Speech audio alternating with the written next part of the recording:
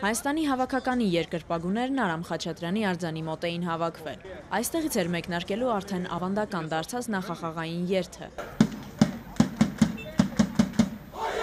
Առաջին հայկական ճակատն է կազմակերպել Հայաստանի հավաքականին սատարելու համար։ Հավաքականի շապիկներով, եռագույններով, օրհներ գհնչեցնելով երթը Երևանի կենտրոնական փողոցներով մարզադաշ շարժվեց։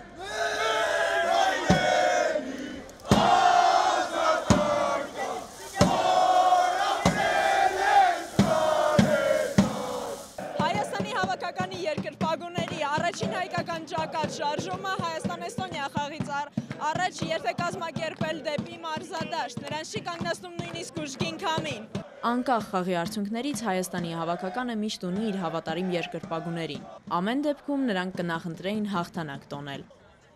Էլեն Միքայելյան, Կարեն Պետրոսյան, Երկիրն այսօրի համար։